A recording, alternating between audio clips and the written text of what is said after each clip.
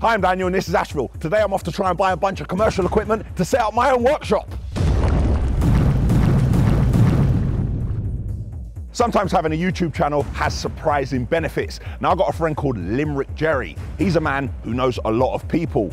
Now, he knows a man who set up a workshop with some state of the art equipment. And after not too long and hardly using the equipment, they no longer need it. So Jerry said, I know a man who could do with that equipment. 200 mile an hour Dan, which refers to the speed I generally move at, not how fast I drive.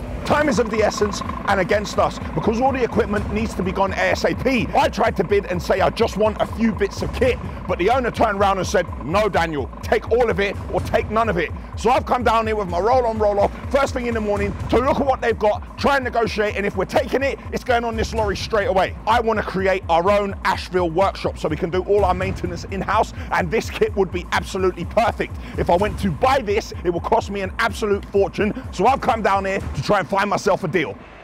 Right, so here are the hydraulic lifts. These are 25 foot long. These are the ramps to get onto it. Those are where the cables run to lift it. And over here are all the posts. When we finally build our own workshop, I should be able to put a lorry up on the ramp. I should be able to take gearboxes out. I should be able to take engines out. We should be able to do it in-house and we should be able to do it safely. But I'm gonna be honest, a lot of this kit, I've only seen it in other people's workshops. Like I've seen this in the Scania workshop. I reckon these lifts, they must be about 30K. Right, here we got a three-phase compressor. This will be um, fixed in a workshop. This thing is extremely powerful. You can plug all your airlines, air guns, everything can be connected into this. Gee, I can't imagine what that's, eight, 9K.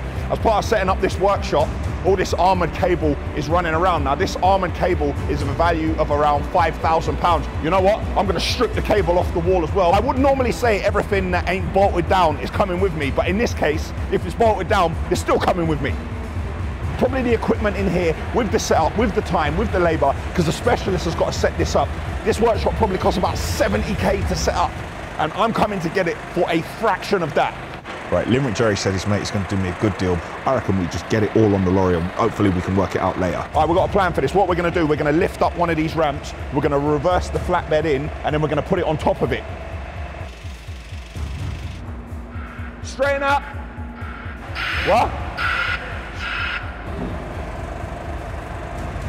We're trying to minimize the overhang, so we're trying to get it touching up the front because we don't want it to hang over. The flatbed's 20 foot, but that's 25 foot, so we'll have five foot hanging over the end. We'll tie a high vis onto it or something, but we want to make sure that what's hanging off isn't dangerous and is legal and compliant to be on the road. I haven't even negotiated the price yet, but I'm having a look at the kit. This kit is fantastic. I know the man's going to look after me. Um, I can see in this workshop, this is a proper setup of a reputable company and I'm getting a bit gassed and excited. All now I don't even know if I'm going to be buying it, but boy. Oh yeah! Lorry's going to drive out, try and turn around.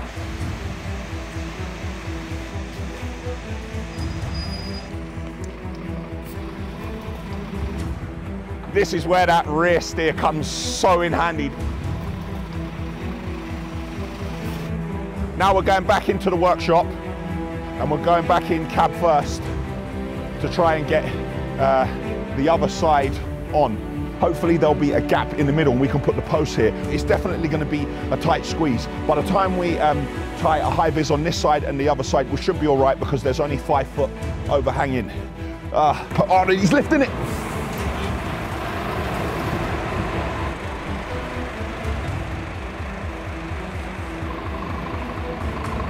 Oh, sorry, back. Okay, you need to go.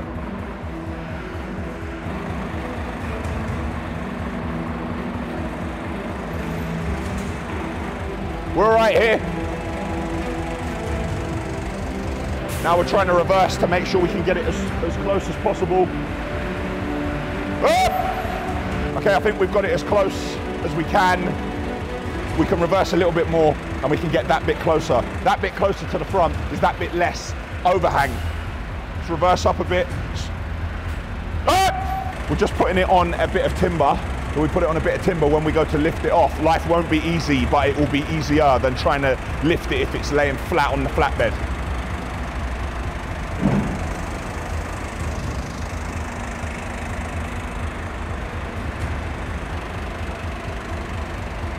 You're gonna go forward, yeah? So you're gonna go forward, get out the way, we'll lift something, then you'll come back. So you're gonna go forward, back, forward, back.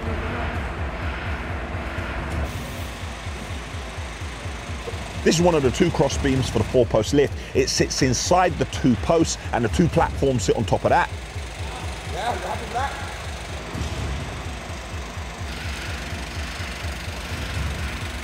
It has mechanical parts, so the forklift operator needs to use tackers to lay it down gently.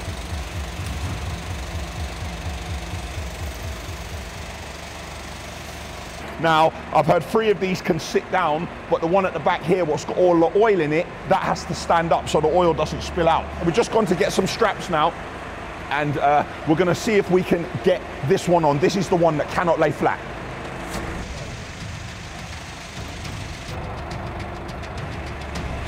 We're gonna strap it to that. It's gotta go there. Are you fully extended? we don't have the clearance here, so we're gonna use the air suspension and drop the lorry. okay, we're round. Look at that. we managed to get it in by millimeters. We just got the clearance, and now we put it flat on the flatbed. Yes, get in. So the rest of these, we can actually just lay them flat on the forklift.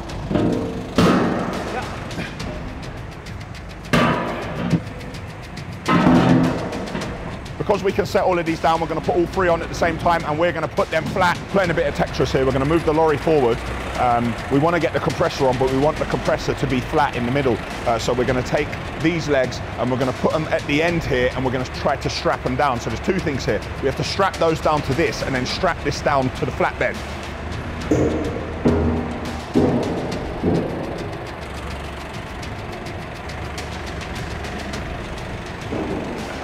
We're trying to get that overlap on it here. And just to be clear, yeah, I'm not a scrap hoarder and I'm not buying these to try and sell them for profit. This is the next step again in our business to, to bring all this maintenance in-house. And it's a fabulous opportunity, but at the same time, I don't know the exact circumstances, but anyone who puts a workshop together this good and then has to take it apart this quickly without barely using it, there's obviously been a problem. I don't want to intrude and the company don't want to be mentioned, but I do want to make sure that they also get a fair price because I know what it's like to be on the receiving end of something like this.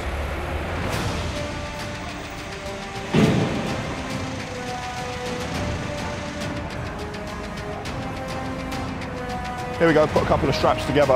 Um, we've interlocked them and we can get above the filter. We don't want to cause any damage there. And we're going to try and get this on behind the post what's standing up.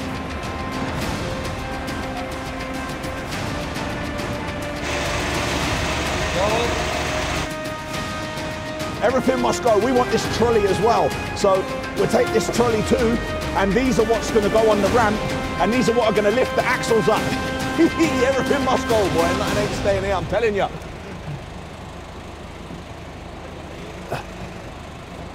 Should I bring my van in and take the bits off of my van? What, there's, there's more in the van? I've got, yeah, look. You got more in the van, yeah? Yeah, bring the van, bring the van, bring the van. There's more in the van. We've got a box of fittings here, and I could tell there was a few fittings missing because on the bits which are on top of the trolley, this little area with different shapes on it, and these are the fittings that fit into those different shapes. This is not something we can set up in-house. We have to get a specialist company. I'll probably ask for the contact who set it up here in the first place, and they'll need to come to the yard and do it. I'm not gonna lie, for a little while, these might sit in the yard collecting dust, like the turnstile and the skip boat I made and the Ashville gym. But it doesn't matter, because it's mine and I own it, and when I do go to set it up, I would have saved a whole lot of money. Oh, this is the gear, uh, hydraulic gearbox jack, yeah? Oh, and we got more at the back. Oh, wow, and what's that, the hydraulic greaser? Yep. And a big jack. And a big jack. Ah. All right, put it down. All right. Woo, look at that. Is this me as well here? This? No. it's not me, but I did try to take it as well. Wow, look at that. Right. Yeah, yeah. right. Nice. Greasing will forever change at Ashville. Ah.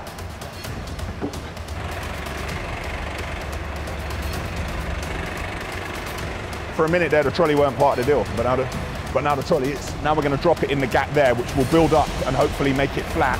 And then we're going to try and put the um, greaser on, or maybe the gearbox jack.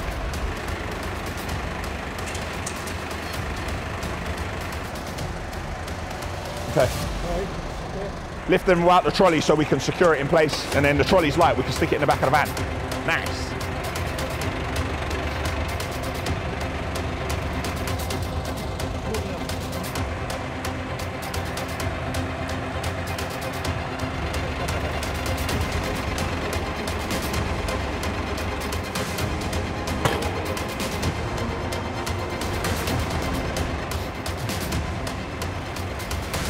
Final bits. This is for the lift. I don't know exactly what it does. I think this is something to do with the safety when you uh, when the lift is in place. I think this locks it in. The fellas who work here are actually starting to arrive, and their workshop's nearly being completely empty. They're coming in like, what's going on? This is the last bit of kit that's going to go on.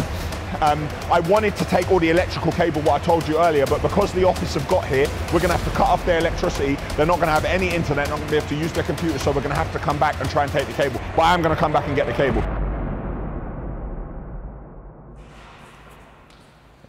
That's it. We've got all the kit on. On closer inspection, um, I think this kit is worth about 50k. I spoke to the owner, we went back and forth, there was a bit of negotiation, and we have agreed that we will pay 25% of that figure, which I'm really happy with. A great deal for us, and he doesn't have to mess around with tire kickers and people going back and forth and taking some of the kit and not others because they want space in the workshop because their business activity is changing. Fantastic for us because as a business, we're always trying to improve, and this is one step closer to controlling our destiny because when we have our own workshop, we don't have to worry about other workshops delaying us, not getting parts. So we can try and move forward as efficiently as possible. I'm very happy.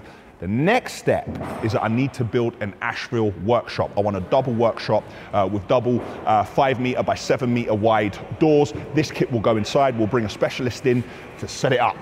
Thanks for watching. If anybody's got any good deals coming up, please let us know. We love a deal. However, let me be clear, we are not salvage hunters.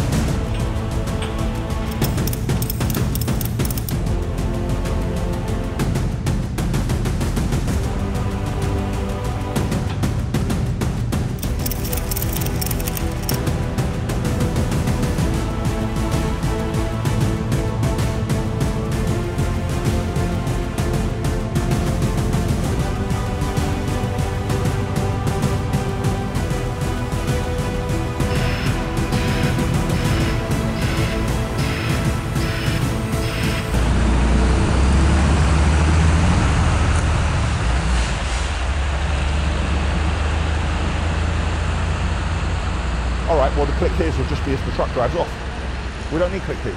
The truck's driving off, innit? That's the, that's the shot. Yeah, I think that's all right, yeah. Yeah? It's a different, it's different, isn't it? Yeah. It's a standalone video.